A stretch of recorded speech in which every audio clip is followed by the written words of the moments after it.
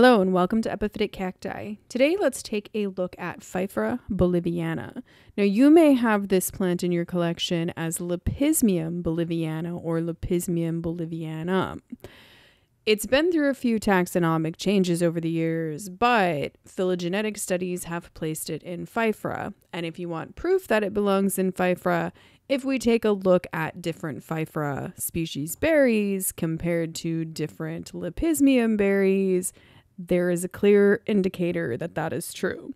I always say this, but don't ignore your ovaries. Your flower ovaries can tell you so much about the identification of your plant. The study showed that its closest relative was actually Pfeiffera paranaensis. If you go to IUCNRedlist.org and you look this species up, you will find no real information on it. It says that it's data deficient. However, there is an article that contains some information about this species. It's Ecology, Biogeography, and Diversity of the Bolivian Epiphytic Cacti with the description of two new taxa. It was published in 2000, and the authors are P.L. Ibisch, M. Kessler, C. Nowicki, and Wilhelm Barthlott. It was published in Bradleya, issue 18, pages 2 through 30. It was published by the British and Cactus Succulent Society. You can purchase this article from BioOne. I will put a link in the description. It says that Pfeiffera boliviana is endemic to Bolivia, obviously, hence the name. It's found only in the montane rainforests of the Yungas at altitude ranges of 1,050 to 2,100 meters. It does talk a little bit about how variable the flower colors are within the populations. It's a little bit crazy because even if you go on Facebook or the internet or wherever and you happen to look this species up, you may find flower colors with a lot of variability. I have seen flowers that are white, sometimes flowers that are white tinted with yellow, sometimes flowers that are predominantly yellow, sometimes white, yellow, and orange, sometimes yellow and orange, sometimes pink and orange, sometimes pink, all the way to red. so this has an extreme level of variability, probably the most that I've ever seen in any epiphytic cacti. And what's very interesting is to directly quote this in the notes. It says, a little known endemic with marked morphological variation between populations. Additional studies, especially of the variability within natural populations, may reveal that some forms merit recognition as subspecies or varieties. What's interesting about that is that in 2010, in Nadja Korotkova's dissertation, there were two different specimens that were sampled in the phylogenetic testing, and it showed that these two different samples probably aren't the same species. And not even different subspecies or different forms, literally, probably not even the same species. So I would expect that at some point there's probably going to be some kind of taxonomic changes in Pfeiffera boliviana. From the pictures, the two specimen that were sampled, one of them has white, yellow, orangish, reddish flowers, and the other one has more of like a white, yellow, pinkish, magenta sort of flower color. If you look around, even in cultivation, like if you look at photos on Facebook or on the internet, you'll find variations within kind of those major color groups. So, the major color group being more on the yellow orange side or being more on this kind of pink magenta side. And you'll find that there are some that are lighter in color, some that are darker in color. And that can be attributed to a few different things. It can be attributed just to cultivation. So, how much water they're getting, how much light they're getting, the temperature, how much nutrients they're getting, that kind of thing. But it could also be attributed to just clonal variations. So you may have one clone that is producing a lot more betalains than another clone. And so one might be considerably more yellow, considerably more orange, considerably more magenta, considerably more red. The flowering period for me is June, July, August. If you live closer to the equator, it may bloom a month or two earlier than that. I don't really find that there's any special care or anything that is needed for flowering.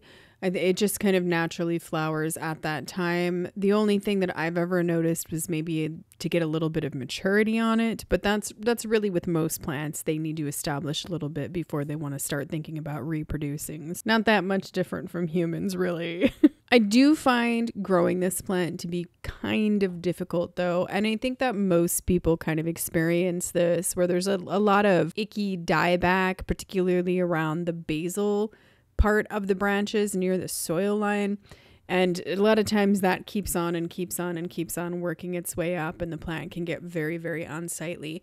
I really have not solved that mystery. I do know that I've seen other people grow this absolutely beautifully without any of those kinds of issues. That leads me to believe that it's an environmental cause, not necessarily like a a cultivation cause. It might be that the environment is too cold, or too wet, or too dry, or something like that. But in my case, I've just not been able to quite figure it out. And I moved the plant around a lot and kind of tested things out a lot with it, and still just have not quite been able to figure that out. So, what I do when I see that is depending on how unsightly it is, I just keep cutting it, cutting it, restarting it, restarting it, and, and trying to deal with it that way. It's quite common that I read about epiphytic cacti from Bolivia being harder to keep in cultivation just in general. Like I have noticed that with some of the Rhipsalis and stuff too, that they wanted to be a little bit on the a little bit more on the damp side and a little bit on the warmer side. According to climatedata.org, one specific kind of area where it was collected in or collected near the temperature ranges is somewhere between 75 degrees Fahrenheit down to about 65 degrees Fahrenheit. And it again, it's very mild, it's very consistent. And then the average sort of rainfall is in the rainy season, it looks like it's between, I would say, 20 and 30 inches. And then in the non rainy season, it looks like it's between about 5 and 15 inches, driest in about August, September. If you can get it to grow well, it's beautiful and it has these indeterminate branches, so they get super long, or they can get super long, and sometimes they're a little bit shorter, but it also produces branches sort of off of the tips towards the middle of the previous branches. So it just kind of keeps cascading down and it will just get long and absolutely beautiful and can be a super prolific bloomer. One of the things that I want to point out about the flowers here, because I thought it was really interesting when I saw them, is that the base of this particular specimen, the base of the stamen was yellow and then it kind of faded up to white. And in the other specimen that was more magenta in color, the stamen were actually kind of a dark orange and faded up into kind of a lighter orange or a lighter yellow. I just thought that was really interesting because it's something that you see mirrored in some of the Rhipsalis species as well as those kind of different colored stamens. So I just thought that was fascinating. In terms of where to purchase this plant, this, this plant is not rare or anything by any stretch of the imagination. I think that it's rare if you're trying to find it like in a big box store or nursery. It's probably not going to be there. You are going to have to do a, a little bit of work to get it.